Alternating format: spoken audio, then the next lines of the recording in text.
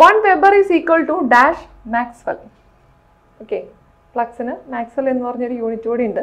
One weber എന്ന് പറയുന്നത് എത്ര മാക്സ്വെൽ ആണ് എന്നുള്ളതാണ് ചോദ്യം. One weber equal to ten raise to eight maxwell ആണ് കേട്ടോ ten raise to eight maxwell ആണ്. അപ്പോൾ ഈ തന്നിരിക്കുന്ന ഓപ്ഷൻസിൽ one two three four five six seven eight okay option C ആണ് കറക്റ്റ് ആൻസർ ആയിട്ട് വരിക. Okay next question the standard secondary output of a current transformer is okay current transformer നമുക്കറിയാം. Protection metering പർപ്പസിന് വേണ്ടി യൂസ് ചെയ്യുന്ന transformers ആണ് current transformers അതിന്റെ standard output current ആണ് ചോദിച്ചിരിക്കുന്നത്. എത്രയാണ് വരിക? ഫൈവ് ആംബിയേഴ്സ് ആണ് കേട്ടോ നോട്ട് ചെയ്ത് പഠിക്കുക. ഫൈവ് ആംബിയേഴ്സ് ആണ് സ്റ്റാൻഡേർഡ് റേറ്റഡ് കറണ്ട് ആയിട്ട് കറണ്ട് ട്രാൻസ്ഫോമേഴ്സിന് യൂസ് ചെയ്യാറുള്ളത്. Okay The next one, in 2 wattmeter method of power measurement, 1 wattmeter shows negative reading. The power factor of load is. Options എന്തൊക്കെയാ? Unity below point five lagging point eight lagging in between point five and point eight lagging okay അപ്പോൾ ഇത് two watt meter method പല type questions നമ്മൾ കണ്ടു. ഇപ്പോൾ ഇവിടെ ചോദിച്ചിരിക്കുന്നത് negative watt meter reading വരുന്ന ഇത് രണ്ട് വാട്ട് മീറ്റേഴ്സ് ഉണ്ടല്ലേ ഡബ്ല്യു വണ്ണും ഡബ്ല്യു ടൂവും ഓക്കെ ഇതിനകത്ത് ഒരു വാട്ട് മീറ്റർ റീഡിംഗ് നെഗറ്റീവ് അതായത് ഡയൽ സീറോയുടെ ലെഫ്റ്റിലേക്ക് പോവുകയാണെങ്കിൽ നമ്മൾ എന്ത് ചെയ്യും? ആ സപ്ലൈ ഓഫ് ചെയ്ത കണക്ഷൻസ് ഒന്ന് മാറ്റി കൊടുക്കും അല്ലേ? ആ എൽ എം ടെർമിനൽസ് മാറ്റി കൊടുത്തിട്ടാണ് ദെൻ ആ വാട്ട് മീറ്റർ റീഡ് ചെയ്യാറുള്ളത്. നമ്മൾ ഒ സി എസ് സി ടെസ്റ്റുകളിലൊക്കെ ഇത് കണ്ടിട്ടുണ്ട്. ഓക്കെ അപ്പോൾ ആ വരുന്ന കേസിൽ പവർ ഫാക്ടർ എന്താണ് എന്നുള്ളതാണ് ഇവിടെ ചോദ്യം. എങ്ങനെ കണ്ടുപിടിക്കാം? ഒരു സിമ്പിൾ ഐഡിയ വെച്ചിട്ട് കണ്ടുപിടിക്കാം. നമുക്കറിയാം. വാട്ട് മീറ്റേഴ്സിന്റെ റീഡിങ്സ് നമ്മൾ ഡെറിവേഷൻ സമയത്ത് എന്തെന്ന് പഠിക്കുന്നത് ഡബ്ല്യു വൺ ആണെങ്കിൽ എന്താ?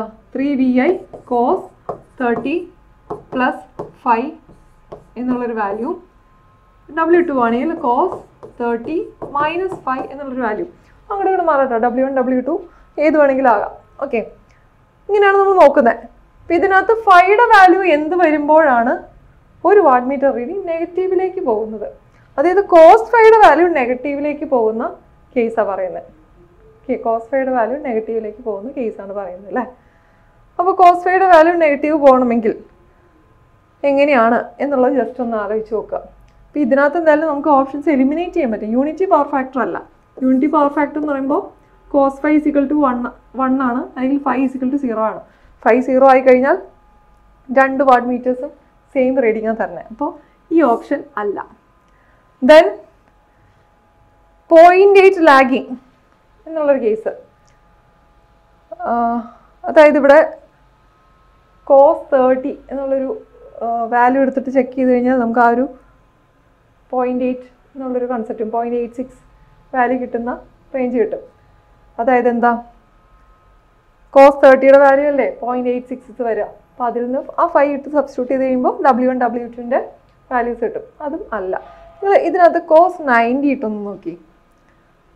ഓക്കെ നയന്റി ഇട്ട് നോക്കിക്കഴിഞ്ഞാൽ എന്ത് കിട്ടുന്നു നോക്കി നയന്റി അതായത് ഫൈയുടെ വാല്യൂ നയന്റി ആണ് എന്ന് വിചാരിക്കുക ഫൈയുടെ വാല്യൂ നയന്റി ആണെങ്കിൽ cos five is equal to cos ninety വരും. കോസ് നയന്റി എന്ന് പറഞ്ഞാൽ സീറോ ആണ് അല്ലേ?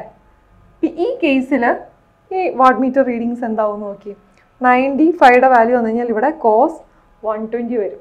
കോസ് വൺ ട്വന്റി വന്നു കഴിഞ്ഞാൽ കോസ് വൺ ട്വന്റി എന്ന് പറഞ്ഞാൽ മൈനസ് പോയിന്റ് ഫൈവ് ആണ് അതിന്റെ വാല്യൂ വരിക. ഓക്കെ ഇനി ഇവിടെ ആണെങ്കിലോ ഇവിടെ ഫൈയുടെ value വരുവാണെങ്കിലോ thirty minus thirty minus ninety വരും അല്ലെങ്കിൽ സിക്സ്റ്റി വരും. കോസ് മൈനസ് സിക്സ്റ്റി എന്ന് പറഞ്ഞാൽ കോസ് സിക്സ്റ്റി തന്നെയാണ്. ഓക്കെ അപ്പോൾ അത് നോക്കി ഈ കേസിലൊരു നെഗറ്റീവ് വാല്യൂ വന്നു അല്ലേ? ഒരു നെഗറ്റീവ് വാട്ട് മീറ്റർ റീഡിങ് വന്നു. ഓക്കെ ഇപ്പോൾ നമ്മൾ ഈ പറഞ്ഞ കേസ് ഏതിൽ വരുന്നതാ? കോസ് ഫൈവ് സീറോയിൽ വരുന്നതാണ്. അപ്പോൾ അത് വെച്ചൊന്ന് കമ്പയർ ചെയ്യുമ്പോൾ നമുക്ക് ഇതിൽ നിന്ന് ഏത് ഓപ്ഷൻ കറക്റ്റായിട്ട് പറയാം? പോയിന്റ് ഫൈവ് എന്ന് പറയുന്നത് പോയിന്റ് ഫൈവ് പവർ ഫാക്ടർ എന്ന് പറയുന്നത് നമ്മൾ കണ്ടിട്ടുണ്ട്. ഡബ്ല്യു വൺ ഏതെങ്കിലും ഒന്ന് സീറോ മറ്റത് ഫുൾ വാട്ടർ റീഡിങ്ങിന്റെ കണ്ടീഷനാണ് ഇപ്പോൾ നമ്മൾ ഇവിടെ ചെയ്തത് കോസ് ഫൈവ് സീറോ വരുന്ന കേസ് കോസ് ഫൈവ് സീറോ വരുമ്പോൾ കോസ് ഫൈവ് സീറോ വരുമ്പോൾ ഒരു മീറ്റർ റീഡിംഗ് നെഗറ്റീവായിട്ട് കണ്ടു.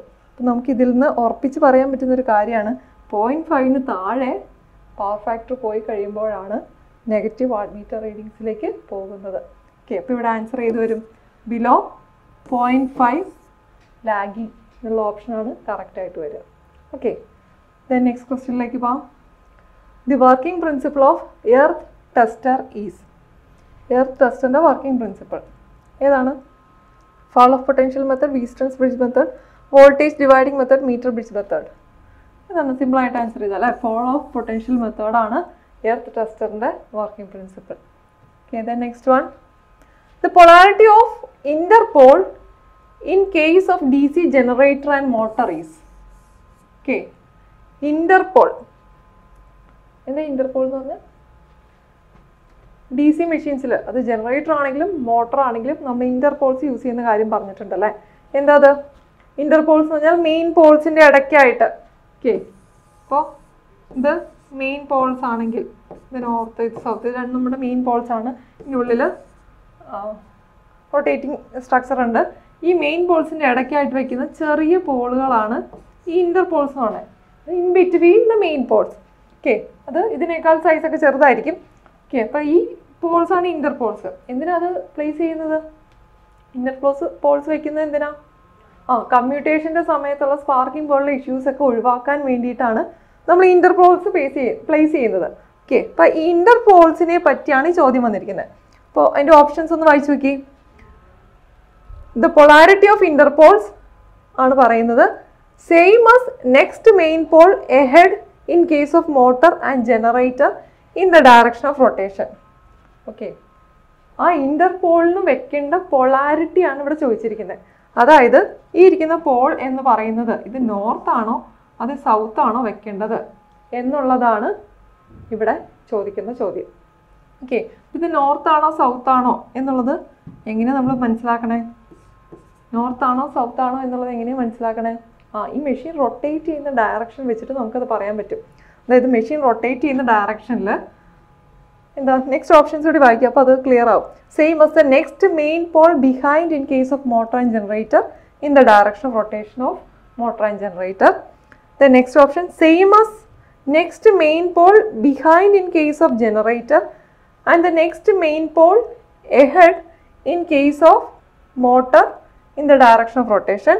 The last option same as next main pole behind in case of motor and same as next main pole ahead in case of generator in the direction of rotation.